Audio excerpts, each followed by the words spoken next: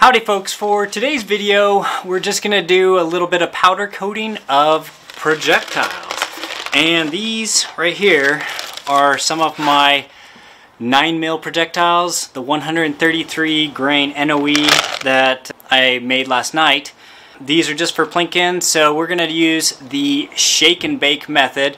And the shake and bake method with the wire mesh screens or wire mesh trays sometimes you get little uh, bald spots or whatever where the bullets stick together. Those, from what I've seen, those really don't affect the performance of the bullet, so I don't care about those. They just don't look quite as pretty. But let's go ahead and I'll show you my method of using the shake and bake process. Alright, and for the equipment today, we're just going to be using my little toaster oven here. And I will go ahead and get it preheating. Today is a hot day, so the projectiles are pretty warm as is. But if it was a cold day, what I'd recommend doing is just throwing them in the, the toaster oven for just a brief period of time, like a minute or two or something, just to get it just lukewarm, like just barely warm, not hot to the touch, but just warm. Another thing you can do is while you're baking one batch, you can throw the rest on top in a tray eh, on top of the toaster oven and it will warm up the projectiles as desired.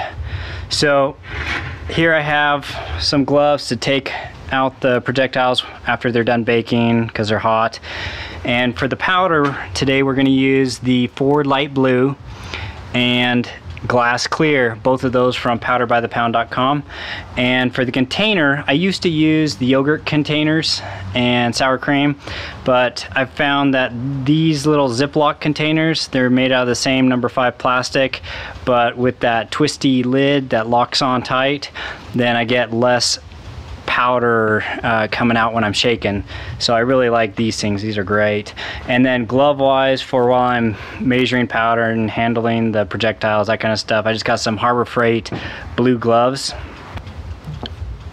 And here we have the dowel or I guess it's a dowel it's a thick one but I use this to tap the projectiles out of the baking trays uh, when we pull them out and you can see also here these are the homemade wire mesh baking trays. Down below I've got a a pan for collecting the excess powder when I drop the projectiles in there. And we got a little measuring spoon. Uh, we're not gonna really measure the stuff we're just gonna do it by eyeball. But uh, yeah we'll use this to scoop some of the powder out.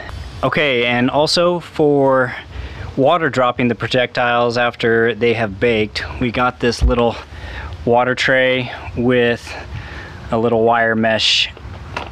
I, I think it's a, a, baking or grill uh, tray. Anyways, we use this. It it fits in there perfectly, which is quite nice.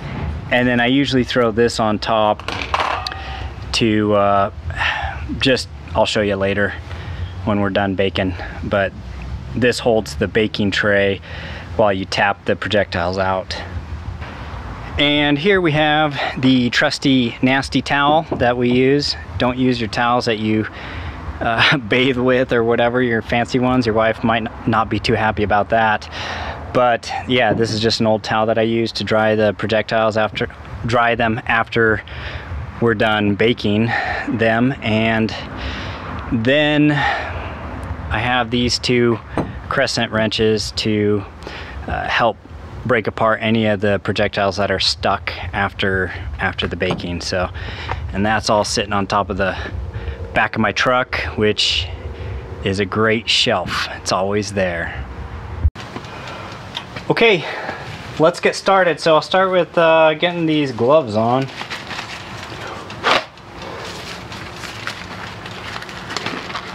Oh, that's what happens when you reuse them over and over and they just get old.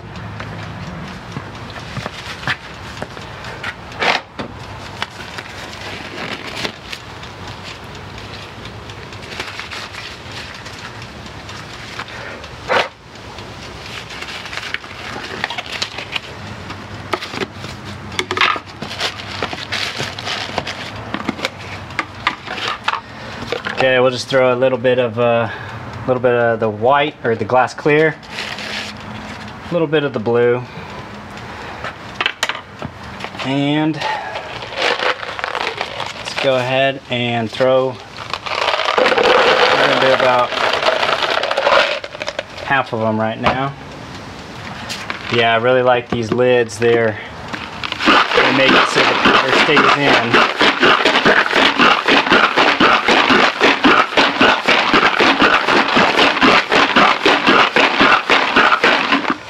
And you really don't have to shake them too long and they turn out pretty good. I'm gonna add just a tiny bit more.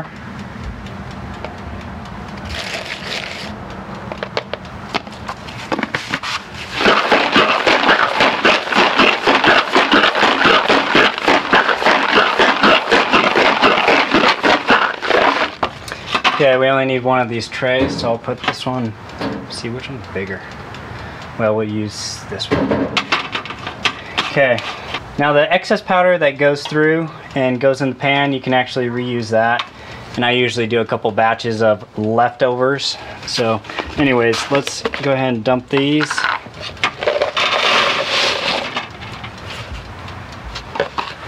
And then just spread them out.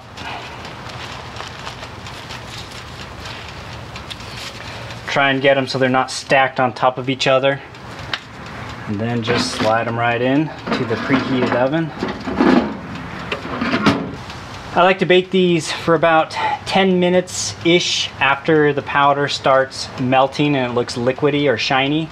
So we'll just throw it in there for about 12. It usually takes a couple minutes for it to, to look like that. And in the meantime, let's get the next batch ready.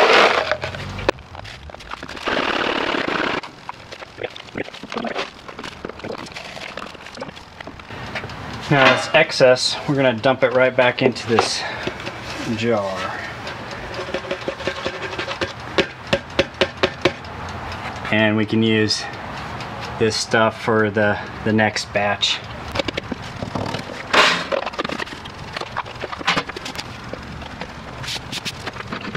Now I'm pretty much done with these gloves, so I'm gonna take them off. All right, now it's only been baking for just a couple minutes and we'll take a look can see how they look a little bit liquidy. That means it's, it's good to go. And we'll just extend it for about a minute. So now we're gonna bake it for 10 minutes. All right, just gotta get the gloves on. Okay, you gotta be fast.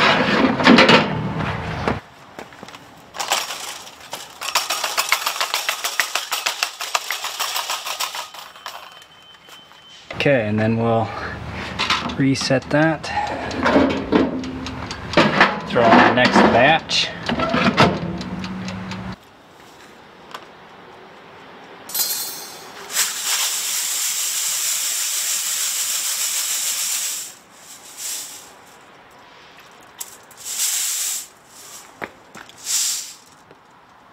Look at all these good ones.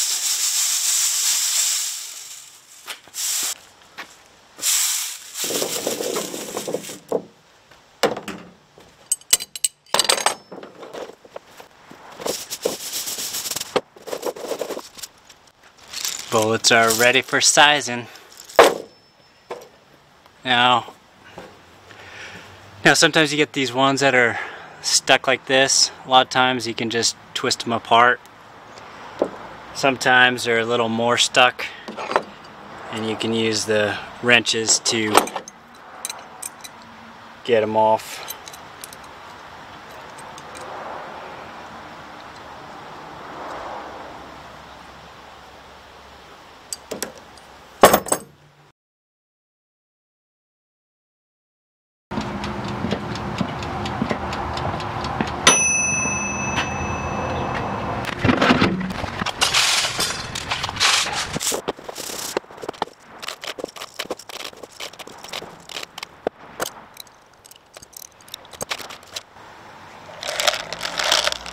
Look at all these pretty bullets.